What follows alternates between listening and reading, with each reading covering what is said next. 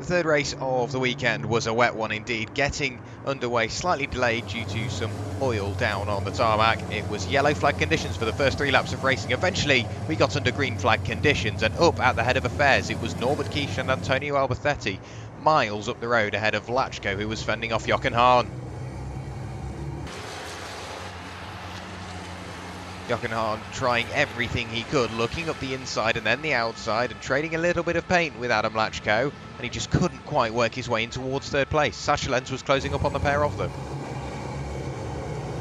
Here we can see Andre Kursim battling away with the young Frenchman of Teo Calvet. They were both door to door for quite a substantial amount of time in this race. Eventually, Teo just had to give up on that move.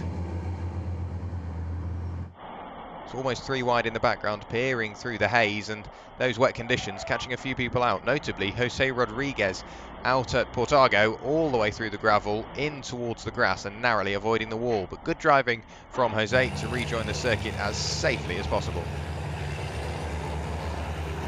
A little later on, once again, wet conditions catching the drivers out. It was Anthony Janiec going for a bit of a moment all over the grass through Ascari, just in front of Jose Rodrigues.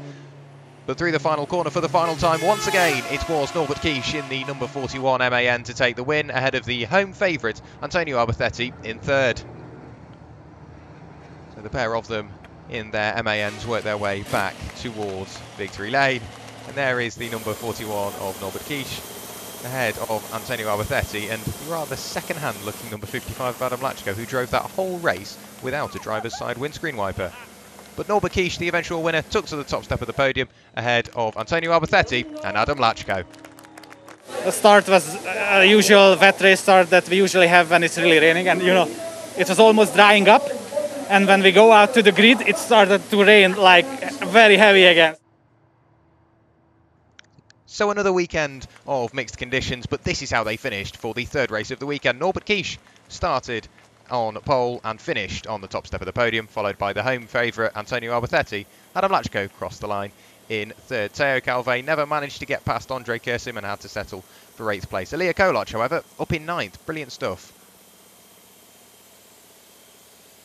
And the final few finishes, of course, no retirements in the third race of the weekend, but the Brits somewhat off the pace. Jamie Anderson, Luke Garrett and Shane Brereton 12th, 14th and 16th.